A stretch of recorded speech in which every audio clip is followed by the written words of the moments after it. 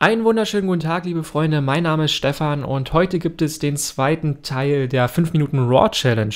Der erste Teil ist ja relativ gut angekommen bei euch und deswegen dachte ich, drehe ich einfach mal gleich eine zweite Folge. Wir bearbeiten heute wieder zwei Bilder. Ich habe jeweils 5 Minuten dafür Zeit. Die Bilder sind von euch eingeschickt worden. Ich habe also keine Ahnung, ähm, ja, was ich genau machen werde. Ich habe da jetzt noch kein Konzept mir überlegt, sondern die Challenge ist, ich habe 5 Minuten Zeit und hole da das Beste raus, was geht in Lightroom. Das erste Bild hat uns der Patrick zugesendet. Vielen Dank an dieser Stelle dafür. Ein super schönes Landschaftsbild und meine fünf Minuten laufen ab jetzt. So, als erstes werde ich auf jeden Fall die Belichtung im Bild etwas nach oben ziehen, denn das Bild ist etwas dunkel geraten. Ich sage ja selber immer, man soll für die Highlights oder für die, für die Lichter äh, das Bild belichten. Ähm, da muss man natürlich immer gucken, dass man dann trotzdem das Bild immer wieder ein bisschen heller zieht und vor allem die Schatten dann ein bisschen auffällt, also die Tiefen. Das werde ich jetzt hier auch mal tun, allerdings nicht zu viel. Ja, ihr kennt das ja, dass man dann gerne die Lichter oder die Tiefen hier auf, auf äh, plus 100 setzt. Das würde ich an dieser Stelle gar nicht machen, sondern so ungefähr auf plus 40 würde ich gehen. Dann hat man hier so ein paar Details drin, aber ich würde es auch nicht viel heller machen. Die Lichter werde ich gar nicht abdunkeln, denn wie gesagt, das Bild ist relativ dunkel und die Lichter sind sehr gut äh, ausbalanciert hier im Moment. Dann werde ich mit gedrückter Alt-Taste die Weißwerte noch etwas nach oben ziehen. Einfach um das Histogramm hier so ein bisschen ausgeglichener zu machen hier oben. Und hm, so gefällt mir das schon ganz gut. Vielleicht ein klein bisschen die Schwarzwerte, aber nicht viel. Den Kontrast werde ich insgesamt noch ein Stück erhöhen. So, und dann geht es mal um ähm, den Weißabgleich. Ich finde das Bild relativ blau. Obwohl hier, ja, es sieht nach einem Sonnenuntergang oder Sonnenaufgang aus. Das weiß ich jetzt nicht, was das genau ist. Deswegen würde ich es noch ein bisschen, würde ich es noch ein bisschen ähm, mehr einfärben Richtung Gelb, also so ein bisschen wärmer gestalten das Bild. Auf jeden Fall auch ein bisschen die Magentatöne anheben. Ja, so gefällt mir das schon sehr, sehr gut. Dann werde ich auf jeden Fall einen Verlaufsfilter setzen, wo ich die Belichtung hier etwas nach unten setze und dann mit gedrückter Shift-Taste hier mal so einen Verlauf setzen. Dadurch wird der Verlauf komplett gerade. Und der Himmel wird einfach noch ein bisschen abgedunkelt und ich balanciere damit so ein bisschen die Belichtung im Foto einfach aus. Ja, das gefällt mir schon ganz gut. Vielleicht sogar noch ein Stück die Temperatur anheben und auch ein bisschen mehr Magenta in den Himmel setzen. Ja, das gefällt mir ganz gut. Perfekt. Dann müssen wir auf jeden Fall das Bild begradigen, denn ihr seht, es kippt so ein bisschen nach rechts weg. Das kann man entweder per Hand machen oder mit dem Winkelwerkzeug hier. Ich nutze ganz gerne das Winkelwerkzeug dafür, denn das wird dann dadurch wirklich sehr genau. Und jetzt haben wir ein schön gerades Bild.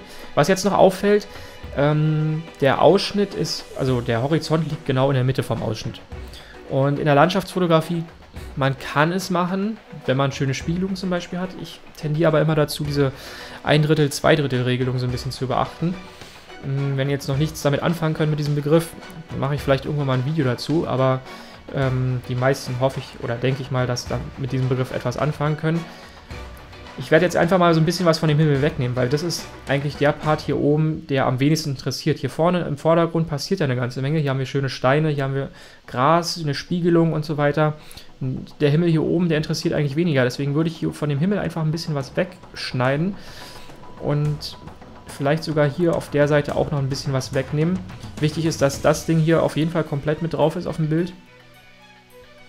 Aber ich denke mal, so ist es vom Ausschnitt her einfach ein bisschen besser fürs Auge. Ja, das ist jetzt einfach persönlicher Geschmack, aber ich persönlich denke, dass es so ein bisschen besser aussieht. Die Klarheit werde ich jetzt noch ein Stück weiter heruntersetzen. Ich kann euch ja mal zeigen, was passiert, wenn man die nach oben setzt. Ähm, ja, ich denke, das ist jedem klar, dass das nicht äh, zielführend ist, wenn man die Klarheit hier nach oben setzt, sondern eher so ein bisschen nach unten setzt, das ganze Bild so ein bisschen absoftet, weil dieses ganze Bild sowieso relativ soft ist und von daher wirkt das dann ganz gut. Die Dynamik können wir aber noch ein bisschen nach oben setzen, da das ganze Bild noch relativ flau wirkt. Und dafür die Sättigung ja, so ein ganz kleines bisschen rausnehmen. So gefällt mir das schon ganz gut. Ich gucke nochmal in die Farbtemperatur, ob ich das Bild noch ein bisschen... Ja, nicht zu viel. Sonst sieht es so aus, als hätte man so einen billigen ND-Filter benutzt. Das soll es ja auch nicht sein, aber ja, so in die Richtung gefällt mir das schon ganz gut. Den Verlaufsfilter, den mache ich noch ein bisschen stärker. Dadurch, dass wir jetzt das Bild gedreht haben, ist dieser Verlauf auch mitgedreht worden, was dann auch nicht ganz zielführend ist. Ich nehme den mal komplett nochmal raus, mache den nochmal neu und mache ihn noch ein Stück dunkler. Ja, das gefällt mir besser. So sieht das Ganze sehr gut aus. Ich muss mich jetzt ein bisschen beeilen, denn ich habe nur noch eine gute halbe Minute Zeit. Was ich noch machen möchte, ist, ich möchte auf jeden Fall hier noch so ein bisschen Dodge and Burn machen. Und dafür nehme ich jetzt hier mal den runden Verlaufsfilter und mache hier einfach noch so ein paar Punkte rein, wo ich ein bisschen Belichtung reinhaue, einfach um das ganze Bild noch so ein bisschen interessanter zu machen. Einen nehme ich hier noch mit rein, wo ich diese Steine hier noch ein bisschen aufhelle. Ja, das hat einfach noch so ein bisschen, das gibt dem ganzen Bild noch so ein bisschen Charakter. So, jetzt habe ich nur noch 10 Sekunden. Ich werde das Bild auf jeden Fall noch schärfen. Profilkorrektur bringt an dieser Stelle nichts, weil wahrscheinlich eine Linse verwendet wurde, die Lightroom noch nicht kennt. Aber 5 Minuten sind jetzt um. Von daher, das wäre jetzt meine Version. Ähm, man könnte noch eine ganze Menge mehr machen. Ich würde jetzt vielleicht noch eine Vignette drumherum setzen und so weiter. Allerdings, die 5 Minuten sind um. Das ist die klare Regel in diesem Video. Nach 5 Minuten darf nichts mehr gemacht werden. Aber wir können jetzt nochmal den Vorher-Nachher-Vergleich ziehen. So sah das Bild aus am Anfang und äh, so sieht das Bild aus nach meiner Bearbeitung. Ja, also man könnte jetzt hier den Himmel noch ein bisschen weiter abdunkeln, aber wie gesagt, 5 Minuten. So sieht mein Bild aus. Patrick, äh, du kannst ja gerne mal in die Kommentare schreiben, wie es dir gefällt. Äh, vielleicht gefällt dir deine Version auch deutlich besser, das kann durchaus sein. Aber ich hoffe, ich konnte dir so ein bisschen Inspiration geben, vielleicht, um vielleicht auch das Ganze mal ein bisschen anders zu bearbeiten. Gut, kommen wir mal zum zweiten Bild. Und das ist vom Max. Der hat mir auch ein schönes Bild zugeschickt. Das ist, glaube ich, in den USA. Ich bin mir nicht ganz sicher, aber ich habe dieses Motiv auf jeden Fall schon mal gesehen. Und ja, ein sehr schönes Bild auf jeden Fall. Was mir jetzt am Anfang so ein bisschen auffällt, ist, dass dieser Bereich hier extrem ausgebrannt ist. Ich weiß nicht, ob du da vielleicht noch eine, eine unterbelichtete Version von diesem Bild hast, die man dann rüberblenden könnte in Photoshop. Das ist jetzt hier an dieser Stelle überhaupt nicht nötig, beziehungsweise auch gar nicht möglich, denn wir arbeiten nur mit Lightroom. Aber ich setze jetzt einfach mal meinen Timer wieder auf 5 Minuten und ab geht's. So, wie gesagt, also hier unten diese dieses ausgef diesen ausgefressenen Teil. Ich kann mal gucken, ob ich das noch so ein bisschen beheben kann. Allerdings, ihr seht schon, selbst wenn ich die Lichter komplett nach unten setze, sieht es einfach nicht gut aus. Das wird einfach nur grau. Ähm, aber Details sind da halt nicht mehr vorhanden. Deswegen müssen wir das an dieser Stelle auch gar nicht erst probieren, sondern dann würde ich eher das so lassen und ähm, diesen Teil halt einfach ausgebrannt lassen und das restliche Bild wirkt einfach. Die Tiefen kann man so ein ganz klein bisschen aufhellen. Und was das Bild auf jeden Fall braucht, ist viel Kontrast, denke ich mal. Deswegen setze ich hier mal den Kontrast so auf 40. Ja, jetzt kann ich die Lichter doch ein bisschen abdunkeln. Und insgesamt ein Stück mehr Belichtung noch reingeben. Dadurch brennt das hier halt noch mehr aus, aber das wirkt halt auch irgendwie. Weil man hier auch diesen, diesen feinen Sand, diesen Staub durch dieses, äh, diesen, diesen Lichtspot hier sieht. Also das hat auf jeden Fall eine coole Wirkung, das ganze Bild. Mit gedrückter Alt-Taste werde ich die Schwarzwerte noch etwas nach unten ziehen, um ein bisschen mehr Kontrast noch reinzukriegen. Ja, so gefällt mir das schon sehr gut. Ich weiß jetzt gar nicht vom Weißabgleich, ob das schon so cool ist. Ich probiere es jetzt einfach mal aus, wie es wäre, wenn ich es noch ein bisschen abkühle, das Bild. Hat irgendwie auch was, wenn es nicht ganz so krass orange ist. Deswegen, ich glaube, ich ziehe das hier so ein bisschen weiter runter und jetzt gucke ich mal, was passiert, wenn ich noch so ein bisschen Magenta dazu gebe. Hat irgendwie eine coole Farbigkeit. Die genaue Farbigkeit müsste man dann wahrscheinlich in Photoshop machen. Mm, da gibt es einfach viel bessere Methoden, um das noch besser äh, kontrollierbar zu machen. Mm, jetzt gucke ich mal, was ich mit der Klarheit hier mache. Ich glaube, in diesem Bild wirkt die Klarheit, wenn man hier so ein bisschen Klarheit reinsetzt.